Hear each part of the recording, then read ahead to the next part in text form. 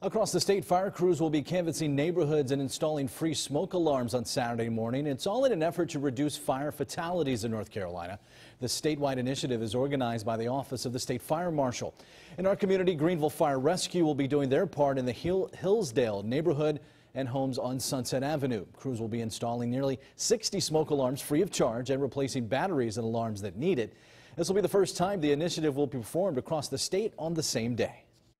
We have had 91 um, home fire deaths in North Carolina alone since the beginning of 2018. Um, that's more than we had all year last year. If you would like a free fire alarm installed in your home, you should contact your local town's fire department.